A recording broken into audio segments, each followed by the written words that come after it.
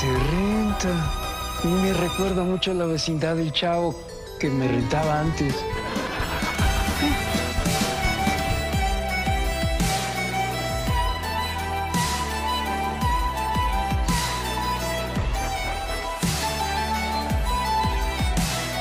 El golpe era demasiado hermoso para ser fuerte, ¿verdad?